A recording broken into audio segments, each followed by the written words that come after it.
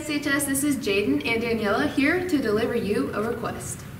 You've probably already heard a lot of requests from students for an esports team. So the million dollar question is, why esports? So let's go to the studio to talk more about it.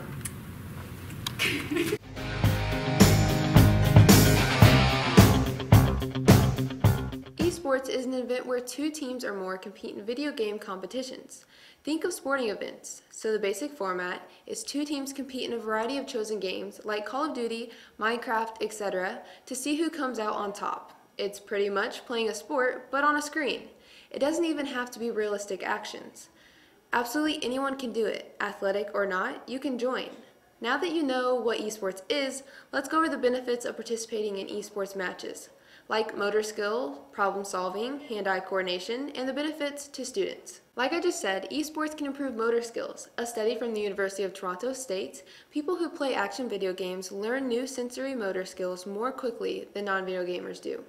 Playing action video games may boost players' ability to coordinate incoming visual information with their motor control, which is a skill critical to many real-world behaviors, which is including driving.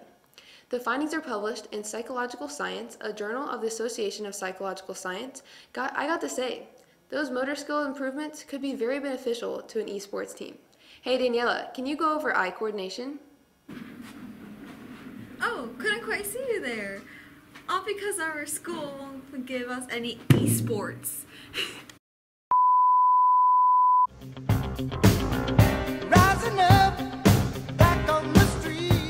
Sure thing, Jaden. The major impact with video games is on the left frontal eye field, or FEF, which is located in the frontal cortex of the human brain.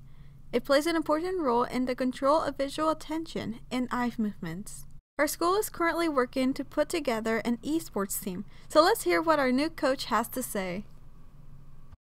I'm Coach Carlton. I'm the strength and conditioning coach. I'm also the baseball coach and the esports coach.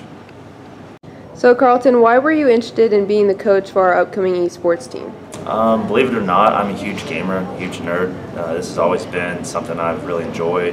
I mean, I PC gamer. I game every night. Um, I'm real nerdy like that, so it's always been kind of dumbfounding to me that we didn't have one. And then finally, a group of kids came to me and asked, and of course, it's taken off from that. How many esports players do we currently have? Um, we had 62 sign up, and I believe we have about almost 50 confirmed registered, so we have a bunch. What are you most excited about? Um, just getting a bunch of kids involved. I mean, kids that aren't athletic, kids that don't do anything else. Um, it's just an awesome little community that we have put together. Thank you. Esports teams have the ability to bring about unlikely groups of people and have them cooperate and even become friends.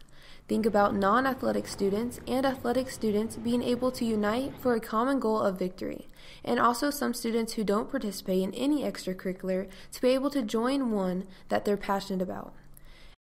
And now it's up to you to decide what's best for us and our future. And you too could look like me. Ka-chow!